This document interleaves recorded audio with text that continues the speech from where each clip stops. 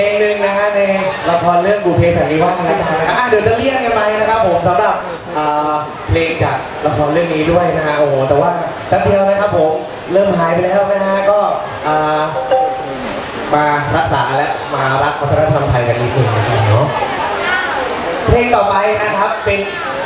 งบทเพลงนะครับ ผมของดนตรีไทยนะฮะตอนนี้ต้องขอบคุณก่อนนะฮะส่วนใหญ่จะนั่งดูคอนเสิร์ตกันใช่ไหมครับวันนี้มานั่งฟังคนตีละนาดด้วยนะฮะยินดีต้อนรับด้วยแล้วกันนะครับผมดีใจมากๆนะฮะเพลงต่อไปนะครับผมชื่อเพลงมัยุราพิรมย์อ่ามัยุรามัยุราแปลว่าอะไรฮะใครตอบได้บ้างครับผมมัยุราละครเอ่อดาราช่องสามไม่ใช่นะฮะใครรู้จักมัยุราบ้างไหมเอ่ย ขอบคุณมากนะครับผมนะครับผมพูดคนเดียวนะเลยเพลงนี้นะครับผมเป็นอีกไม่กี่เพลงในดนตรีไทยนะครับผมที่บรรยายนะครับผมถึงนกยูงอ่ามยุราว่านกยูงนะครับเพลงนี้พูดถึงนกยูงตัวสวยๆนะครับ ก็ ในดนตรีไทยมีไม่กี่เพลงที่บรรยายบรรยากาศนะครับผมแล้วก็บรรยาย ตอนนี้เราจะเนรมิตส่วนนี้ให้เป็นสวนแห่งนกยูงนะฮะเดี๋ยวเรียกให้เดี๋ยวจะมีเอฟเฟกต์นะครับผมนกยูงบินมาจากลายเขาด้วยอ่านะครับผมนึกกันเอาเองนะฮะไม่เกี่ยวกับพวกเรานะเอาลองหลับตาเห็นนกยูงกันดูแล้วกันเนาะ